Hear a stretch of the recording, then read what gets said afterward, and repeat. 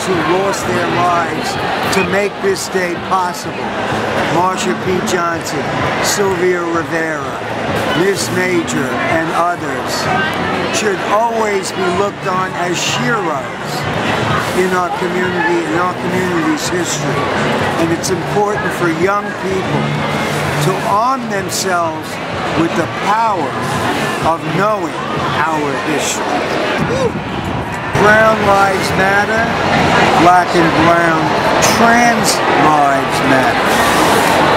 It's just really great to see all the solidarity, you know, the folks out here. Um, there's tons of contingents of, you know, working people who come out, they might not necessarily be queer or LGBTQ, um, and show their support for the community. Um, I really like the fact that we're able to put out a political message at the rally, you know, which, you know, over the years Pride has some corporatized tendencies and it's, it's just these big corporations trying to advertise, but, you know, we're here to make a political statement. I've been sitting here watching the mood, and it's more cheerful than I thought it was going to be. I, you know, with everything that's going on with the Trump uh, negligence of people's needs, I thought there was going to be a lot of anger. But people seem so in need of feeling joyous, feeling their individual selves with all their different ways of dressing. It's just amazing. And feeling pride and happy. I came out in 1993.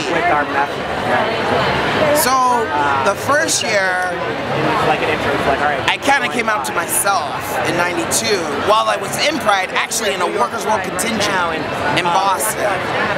Kind of was like, it, it became like, I'm talking about myself And then went out and partied. And with all these people who are like, aren't you straight? And I was like, I don't know. And then I moved to New York and I was working with young people and they just kept asking me about my sexuality and I and I was like I, I need to come out so that was part of the way I came out was actually because of younger folks in my life and I, as a social service worker who are like we want to know. We want to know. And I was like I'm going to tell you. And because they are like living their lives particularly as homeless queer youth in the streets of New York City without shame and like in there then it, it gave me the courage to come out. It's not only our banners that say Black Lives Matter, up and down even the street, and that's new. That's really as it should be. We're we're transforming. Even with the black and brown added to the rainbow flag, it's so important. My favorite thing about Pride is how hard people work to get here. showing off our incredible banner. Look at the faces of the spectators. And they're just thrilled to be where they're at. I hope it goes on forever.